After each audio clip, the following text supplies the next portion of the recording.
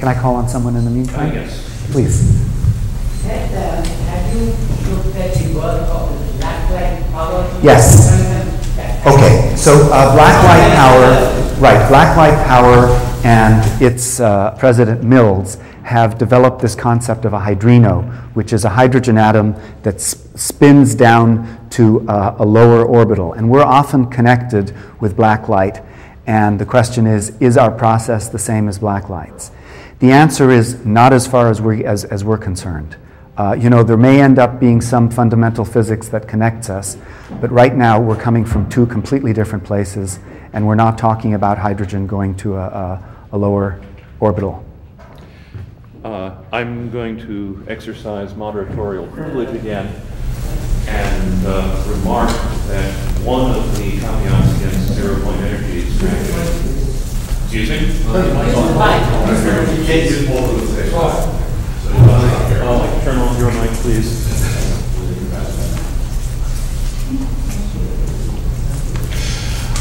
One of the caveats from conventional quantum mechanics that's raised against zero-point energy extraction is that uh, we better not be able to because uh, the zero-point fluctuations are characteristic of our particular vacuum state, and if it's possible to extract energy from them, that implies that we're living in a false vacuum. There is some lower energy true vacuum state that would be where the excess energy could come from. So if we extract it, we will trigger a collapse to the true vacuum, which would expand at the speed of light, uh, annihilating all matter and energy as we know it. Um, do you have any opinions about this uh, theoretical uh, uh, observation? Uh, so, so if you're right, uh, we'll have sort of a, I've, I've turned it back on. If you're right, we'll have a quick instant in which we know. Only Uh, one mic on at a time. Just, why don't you just pass the Okay. handheld back and forth? Uh, so, uh, Turn your, turn yours off. So is mine off? I, I believe mine's off. Okay. So uh, as I said, if we know, if, if you're right, we'll know for a, short instant. Um, and more generally, it's, it's a question of what is vacuum energy, and nobody really knows. Nobody really knows what this zero point energy is. Uh, the stochastic electrodynamic view is a, a, more physical view than the uncertainty quantum mechanical view, as you, as you well know. Uh, in the end, we've got a lot to learn still. John Reed.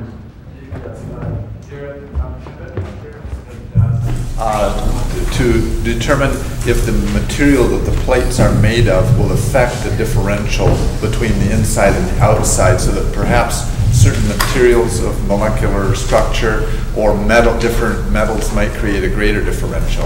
Uh, yes.